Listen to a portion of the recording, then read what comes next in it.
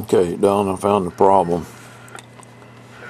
See that? See those two runs coming in there? Let's see if I can get something to point with.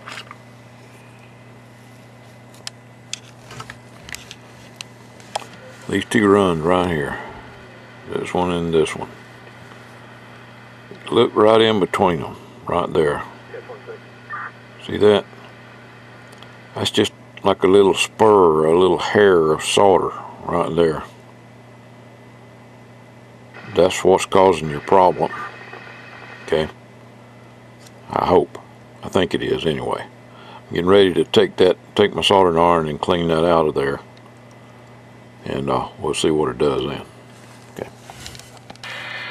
Okay.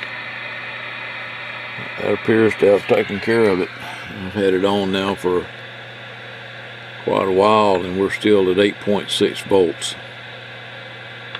So that's what it was, just a little hairline string of solder in there.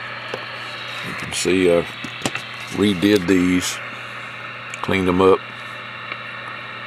and uh, resoldered them. So those little spurs that were in between there are gone. It's quite a few things done to this radio that uh, that I think are bad.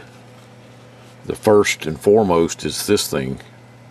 He's jumpered the uh, voltage right out of your power supply direct to the finals.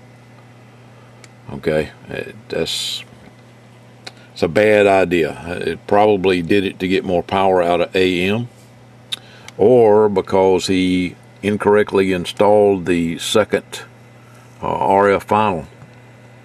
Okay the final is in there. All right. But the supporting components for the final are not there. There should be a, another variable resistor there another resistor a couple more resistors a diode a capacitor. The feed capacitor is not even there. Uh, this one feeds the RF from the driver to this final. There should be one right behind it that feeds the RF to this final. Okay? And there's nothing.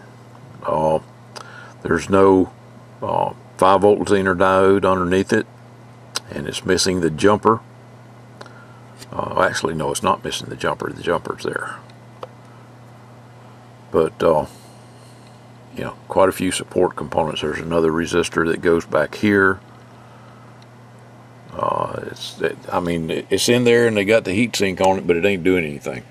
Uh, and I think that's that's probably why they jumped the uh, voltage direct to the other one. So when you key your radio, uh, your normal final and your driver are running wide open. There's no regulation on those at all.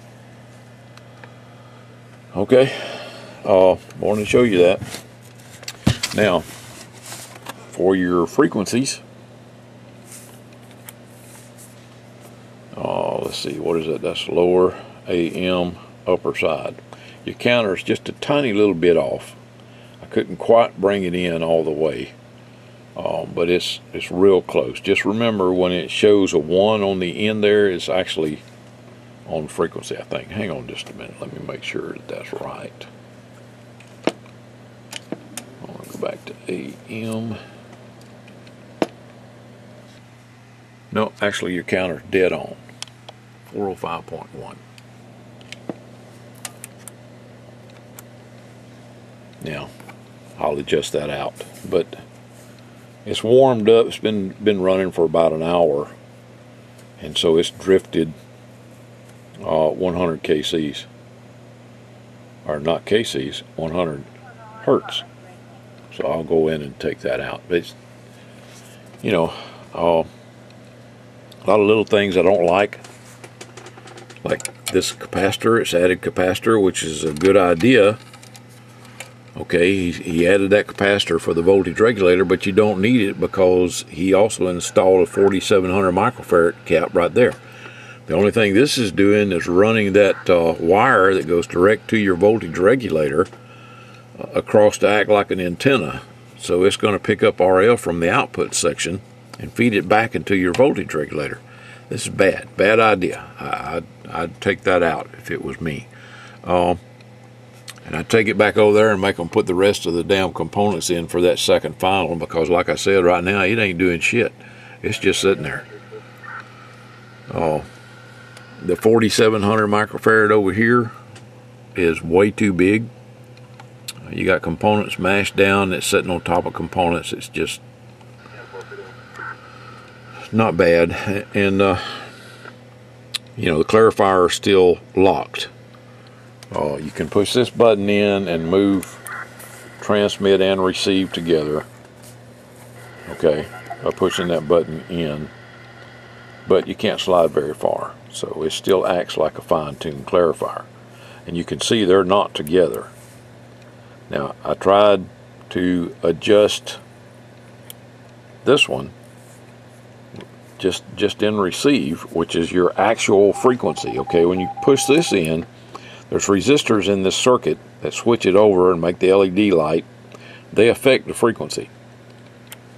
Okay, so that's with it out, that's your actual frequency. But when you key the microphone, it goes off of the uh, transmit adjustment that's inside the radio. So transmit and receive are still locked together with this button out. Okay? Alright, let me go back in and do an alignment real quick. Be right back. Okay, went in and touched up the alignment. It's AM, up lower side band, upper side band. Okay. Now, the way the uh, LC 35-128 works, nine position is low. I think your other board worked like that too. And 19 is high. Okay. Now look at that son bitch. It, it has changed again just by me switching frequencies. Check the voltage. Hang on. We can do this together.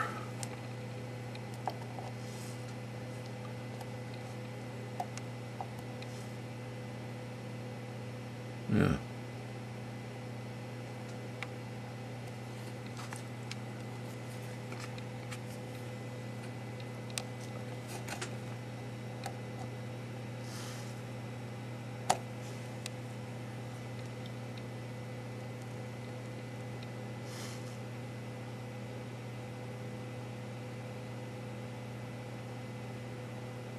It went up 0.1 volt. Which that ain't gonna hurt anything. Okay, and you can also come over here and measure it because that damn wire runs all the way over there. Um, that, that needs to come out as far as I'm concerned. Let me touch it up again. We're on AM.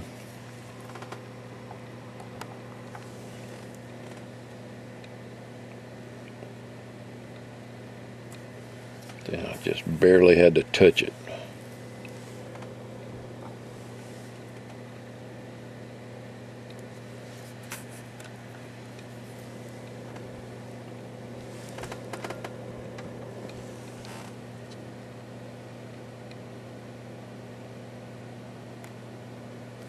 Okay.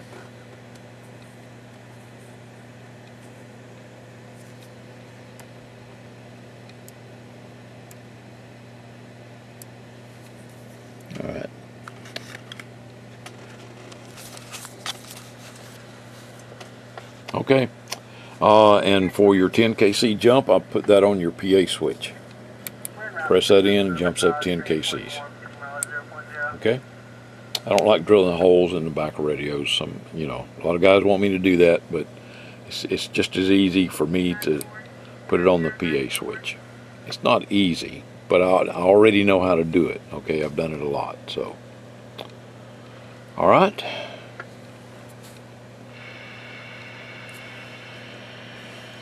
Your mic back. That's about where you had it, I think, right there. But yeah. somewhere in that area. You can readjust it, but uh, I, I would take it back and have them. You know, they probably charged you to put that second final in there, but they didn't put all the support components in it. Uh, and I would take that out and definitely get rid of that damn 13 volt jumper that's going direct to the finals. That needs to come out. That's just that's going to eat your finals. Okay? Alrighty. You know what? I'm going to check your bias real quick.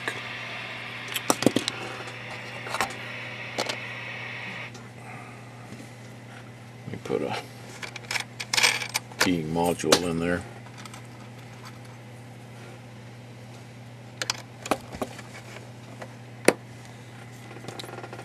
Okay, see what the bias voltage is. 3.6. God damn, that's 4.5. Yeah. I, I got to adjust that. I'm sorry, but I'm, I can't leave it like that. Oh.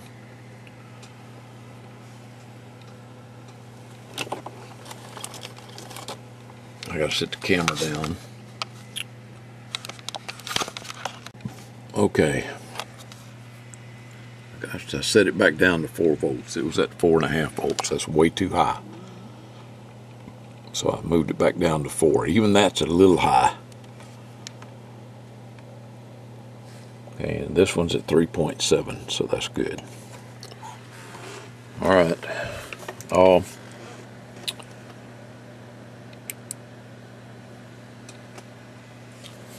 it, it goes up 10 kcs when you push the PA thing in, PA switch.